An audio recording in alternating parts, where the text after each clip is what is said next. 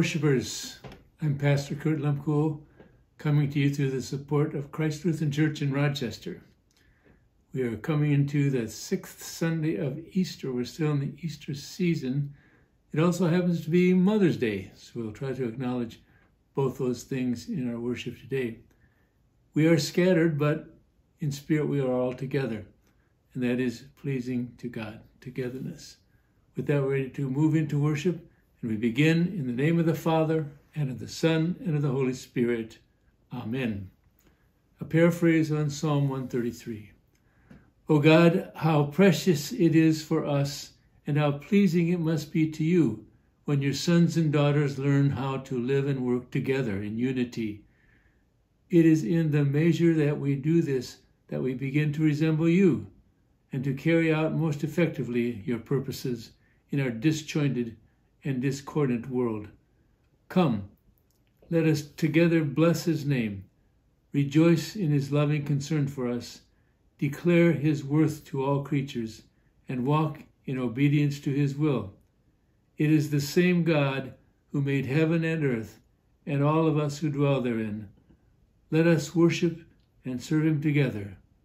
O God, how precious it is for us, and how pleasing it must be to you when your sons and daughters learn how to live and work together in unity. The first reading for this day is from Acts chapter 10, beginning at the 34th verse. Then Peter began to speak. I now realize how true it is that God does not show favoritism, but accepts from every nation the one who fears him and does what is right. You know the message God sent to the people of Israel, announcing the good news of peace through Jesus Christ, who is Lord of all. You know what has happened throughout the province of Judea, beginning in Galilee after the baptism that John preached, how God anointed Jesus of Nazareth with the Holy Spirit and power, and how he went around doing good and healing all who were under the power of the devil, because God was with him.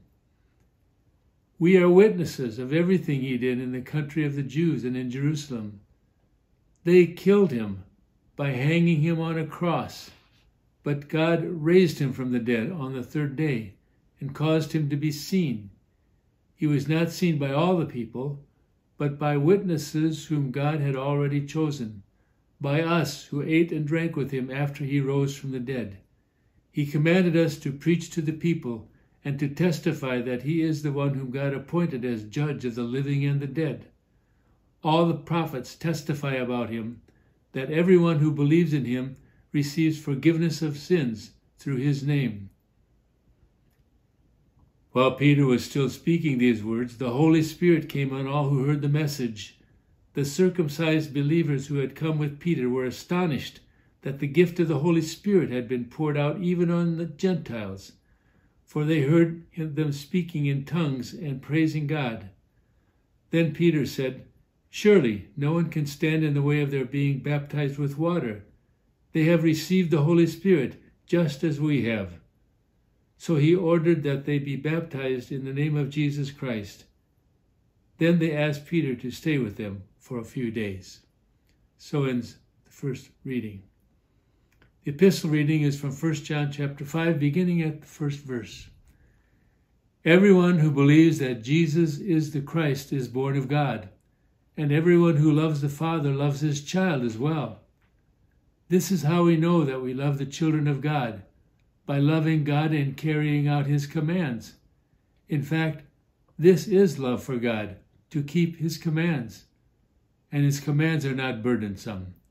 For everyone born of God overcomes the world. This is the victory that has overcome the world, even our faith. Who is it that overcomes the world? Only the one who believes that Jesus is the Son of God. This is the one who came by water and blood, Jesus Christ. He did not come by water only, but by water and blood. And it is the Spirit who testifies because the Spirit is the truth. For there are three that testify the Spirit, the water, and the blood, and the three are in agreement. So ends the reading of the epistle. The Holy Gospel according to St. John, the 15th chapter. As the Father has loved me, so have I loved you. Now remain in my love. If you keep my commands, you will remain in my love, just as I have kept my Father's commands and remain in his love. I have told you this so that my joy may be in you and that your joy may be complete. My command is this love each other as I have loved you. Greater love has no one than this to lay down one's life for one's friends. You are my friends if you do what I command. I no longer call you servants because a servant does not know his master's business. Instead, I have called you friends, for everything that I learned from my Father I have made known to you. You did not choose me, but I chose you, and appointed you so that you might go and bear fruit, fruit that will last, and so that whatever you ask in my Father, ask my, in my name, the Father will give you. This is my command love each other. This is the gospel of the Lord. God has spoken to us, and we speak to Him in our words of confession, the Apostles' Creed. I believe in God the Father Almighty, maker of heaven and earth, and in Jesus Christ, His only Son, our Lord, who was conceived by the Holy Spirit, born of the Virgin Mary suffered under Pontius Pilate, was crucified, died, and was buried. He descended into hell. The third day he rose again from the dead. He ascended into heaven and sits at the right hand of God the Father Almighty. From thence he will come to judge the living and the dead. I believe in the Holy Spirit, the holy Christian Church, the communion of saints, the forgiveness of sins, the resurrection of the body, and the life everlasting. Amen. Grace to you and peace from God our Father and from our Lord and Savior Jesus Christ. Today is uh, Mother's Day, also the sixth Sunday of Easter. We'll try to recognize those as we move through our thoughts. There's a woman who celebrates Mother's Day in a rather strange way. She buys gifts for her husband and all the kids, and then she makes a special meal for them. And someone said, That seems kind of backwards. What's going on? And she said, Well, without my husband and kids, I couldn't be a mother. So I just want to thank them for giving me that most important part of my life. Point is, you can't be a mother by yourself. God establishes families. To get that in perspective, we have to go all the way back to Genesis, where God does the creation. Each day, if you remember, he looks at what he has done and he says, It is good. Except for the sixth day, the last day of his creative activity, when Adam is formed from the dust of the ground and the breath of life is breathed into him. After that, God says, It is very good. Now, humankind, the crown of creation, is complete. And Adam is one, a complete individual all by himself. But there is another phrase after all this. That phrase is not good. It comes in relation to Adam.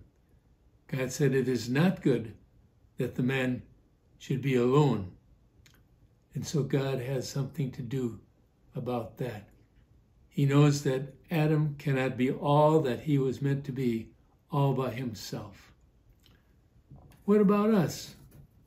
Well, God has made us complete in ourselves with our relationship with Christ. He looks at us and sees holy people. And God could say, It is good but perhaps he could also say, not good. It is not good that we should be alone. Fortunately, Christ saved others too. There are other people that we can relate to. We are brought into relationship because it's not good to be alone. Being alone can happen even in crowds. Maybe you've had that experience of having a lot of people around and you just don't know anybody. And even though you're in a crowd, you feel very much alone. It can happen in marriages when two people are together physically but far apart in every other way, thinking about themselves instead of focusing on the other person. It can happen in families where children are at odds with each other and everybody's fighting. Everybody's kind of in their own little cocoon, all by themselves.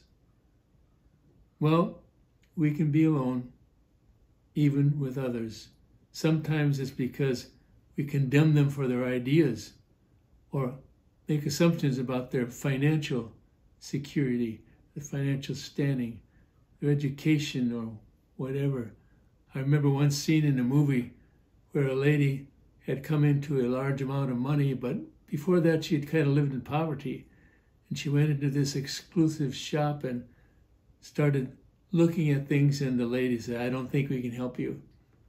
And so she left, but later she came back with all her finery that she had bought and said, Do you remember me? Well, you made a big mistake. You were on commission, right? Well, this is all that you missed out on. You made a large mistake. And we can too if we make the wrong idea come to our minds with other people. Sometimes we might perceive that they're just too stuck up, and maybe maybe they're just shy or sinful. I'll never forget this one little guy, about four years old. He was in preschool. I heard him talking to his Sunday school teacher. He's talking about a particular girl that was in the school with him. And he said, She says bad words. She's a sinner. And so sometimes we can exclude people as well when we don't approve of what they do.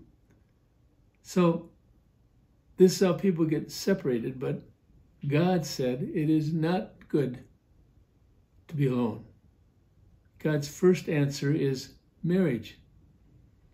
We are told that God caused a deep sleep to fall upon Adam, and he took one of his ribs and formed Eve. And when Adam saw her, he said, This at last is bone of my bone and flesh of my flesh. It's interesting that she got her name, even though she was an individual person, complete in herself because of the creation. She also needed to have someone to be with in order to fulfill all that she could be.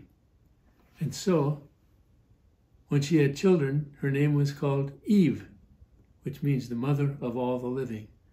Now, we have one complete person, another complete person, but they are together. And you might say it forms the, the number 11. There are all kinds of possibilities that people can do when there's more than one. And then God's second answer is children, kids. They show God's creative action and they show that even though God would be capable of making all the people he needed, he chooses to share his creative activity with us. And they often give us lots of joy, lots of creativity. But sometimes they're a little problem too. This could be a T standing for terror. I know one of my uncles called his kids the monsters, and sometimes that was not too far off. In any case, kids add something, something creative. Sometimes there might be a lot of them or a lot of friends, and then there would be representing the number five, all those other activities that kids bring into our relationships. His third answer is people in general. Not all need to have kids to have a lot of different relationships. This letter L is 50, I think, in Roman numerals. That could represent all kinds of other relationships that are possible with families and all the people that are involved. Just think of all the names you could be called in a family. You could be husband, wife, children, aunts, uncles, cousins, all those things.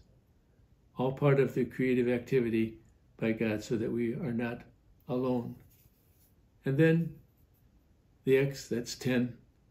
That could be 10 times the joy, 10 times the action as people are in our lives.